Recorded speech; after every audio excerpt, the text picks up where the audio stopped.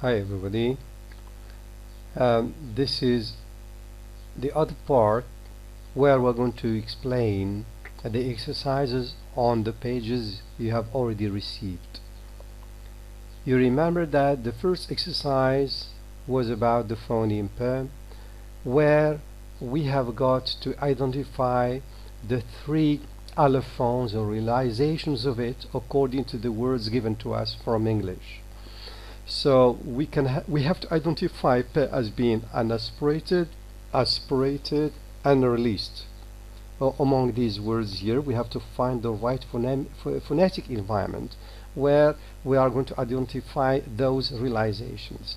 Of course, you remember that we explained these phonetic environments in here. We, I mean, we have got one, two, three, four, five, six environments here, and you were asked to put the check, you know, in the right place where can we talk about P being unaspirated?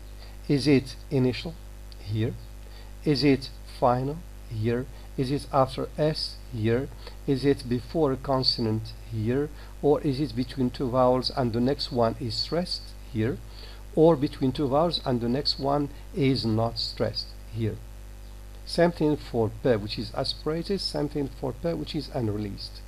Now, just to make you see clearly what happens in these words, I mean, on page 2, we have got the words being rearranged in another way because the words are being grouped together because they share the same common, you know, uh, phonetic environment.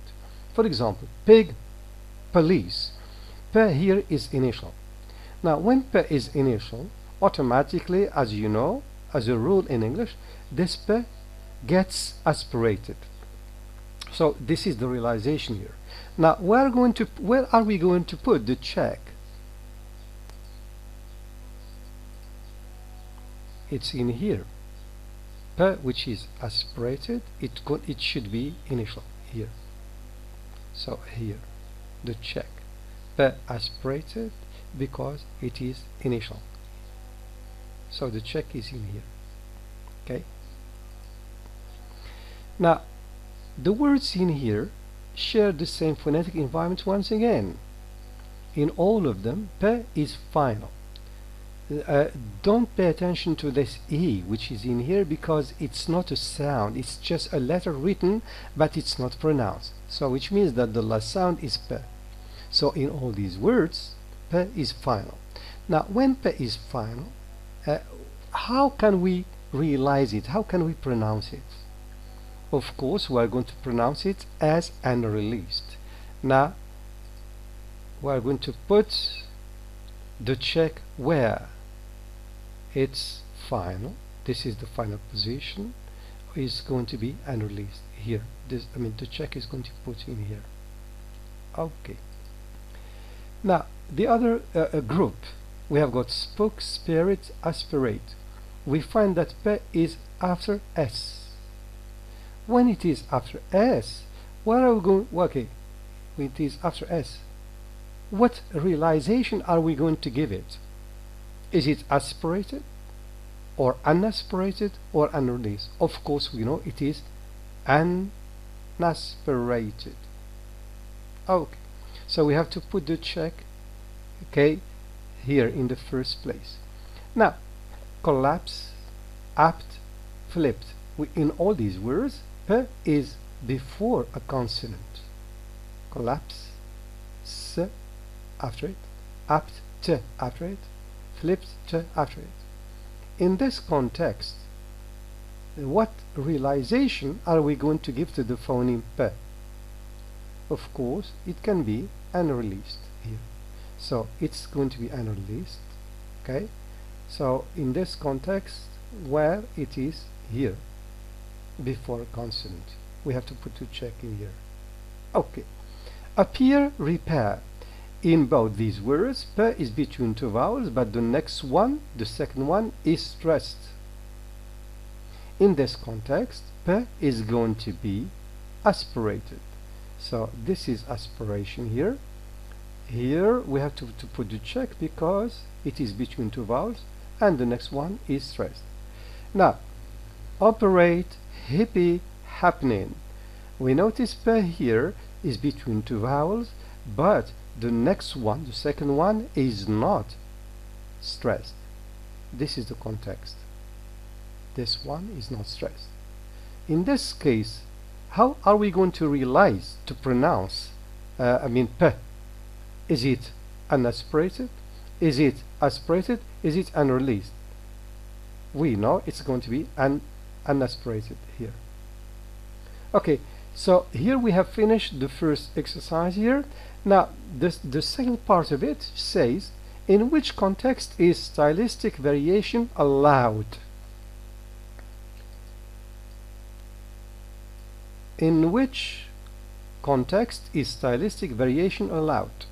That is in which environment does more than one allophone of p occur this type of variation is known as free variation.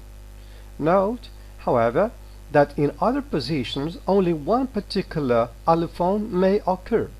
For example after s only unaspirated p is allowed.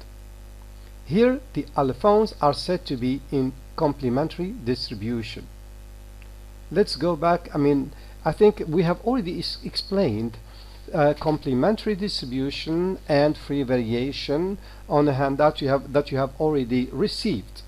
No need to go back to it. We have uh, explained this clearly through even examples. Now, let's go back to our, I mean, uh, words here.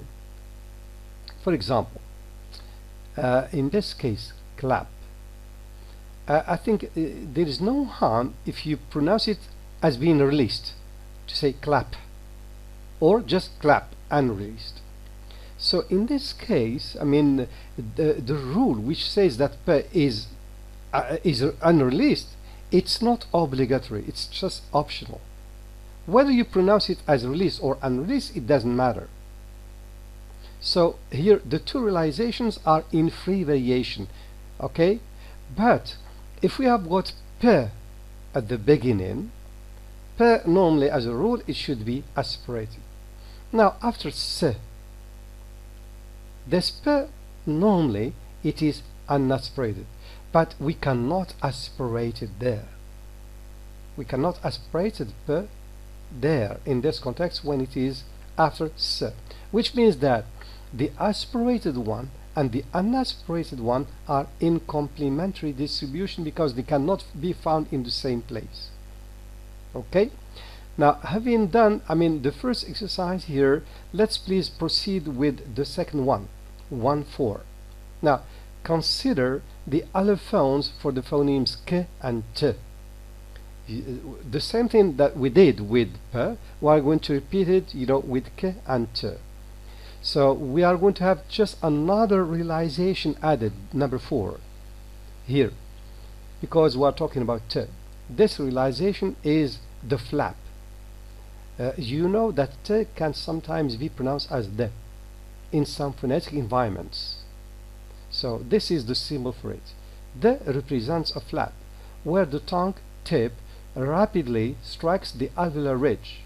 And we're going to see where we can pronounce t as a flap in these words here okay now uh, we have got two different phonemes here we have got k and t and we are given some words from English and we are asked to find the right realization or the right allophone of them in the right phonetic environment where can we find k being unaspirated k aspirated k unreleased same thing in here. T unreleased, T aspirated, T, uh, T aspirated, T unreleased, and the, here.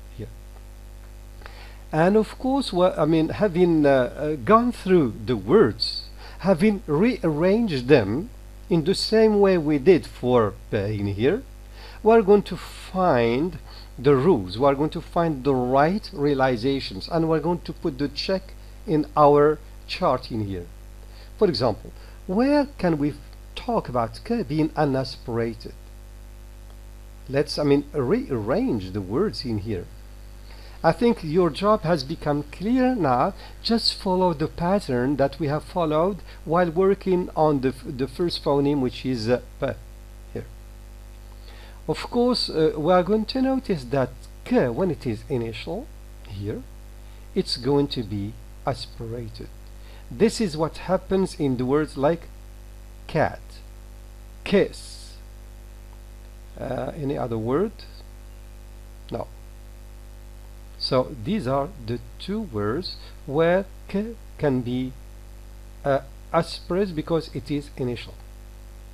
Now let's talk about k being final. Where do we have it final here in these words? We have got sack leak. So no need to say leak. No need to, re to release the air. Just say sack leak. So in these two words it seems of course uh, it is final uh, it's not going to be released. It's unreleased. So we have to put the check in here. Now let's talk about k uh, after s. Where is it? It's skin scar. Normally this k after s is not going to be uh, aspirated. It's unaspirated here. It's unaspirated. So we have to put the check in here. Now uh, before a consonant well let's find k before consonant in here. Where is it? Can we can we talk about k before a consonant here?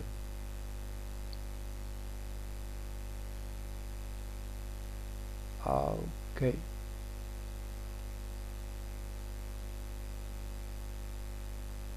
I need you to work with me on this uh, okay yes. Act. Tax. In these two words k is before a consonant. Act. Tax. So here the uh, k is unreleased act. Act. We don't say act. Act acts tax. So it's unreleased. And at the same time you can say it's uh, unaspirated. Okay. Now let's talk about this context. Where k is between two vowels I think I need you to work with me on this in phonetic environment and find it and try to, to, to find where k is found between two vowels but the, the next vowel is stressed. Let's do it here where? Here recover. Recover. Account. Account. We have got k between two vowels but the next one is stressed account. Here it, it's going to be aspirated. So in this context k is going to be aspirated. So we have to put the, the check in here now let's deal with the, the, the last phonetic environment this one let's deal, I mean uh, find the examples of words where we have got k between two vowels but the, sec the second one is unstressed. Uh, let me just try to find this one in here. So look we don't say package we say package so here k is between two vowels and the, the next vowel is not stressed. This is the, the phonetic mark. Here it's not going to be aspirated here. Very simple. So uh, once you finish these phonetic environments for k, you are going to find that we have got a similar pattern. The same rules that we identified for the realizations of p also work for k. Okay? Now you're going to also to notice that you are going to find uh, the same rules applying to t. So this is problem 1 for b okay? Summarize the similarities in, in the distribution of the allophones of p, t and k now let me just talk about this realization because we have uh, skipped it here. When can we talk about a t being pronounced as the, as a flap? Uh, okay, look at this word here.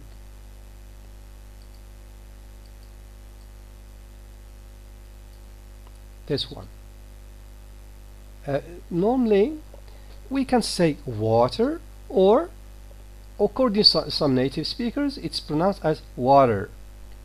So here water this t is pronounced as the as a flap. Because normally it is between two vowels and the next one is not stressed. So in this context okay how are we going to pronounce I mean this uh, consonant or this sound this t is going to be pronounced as the in the la in the last context when it is put between two vowels and the second vowel is unstressed. This is it here. Okay. Now let me go back to this general question here. Summarize the similarities in the distribution of the allophones of p, t and k so these are the things that we are going to uh, I mean if you like to answer in detail later on. But just I mean to have this uh, I mean lecture very very brief just to allow you to have easy access to it we are going to stop here. And uh, next time we are going to I mean to talk very briefly about the, the full answer to it. Uh, and afterwards we're going to deal with more exercises. Okay thank you I hope we're going to have another occasion to communicate with, uh, with each other to uh, explain other notions in phonology and later on you know in morphology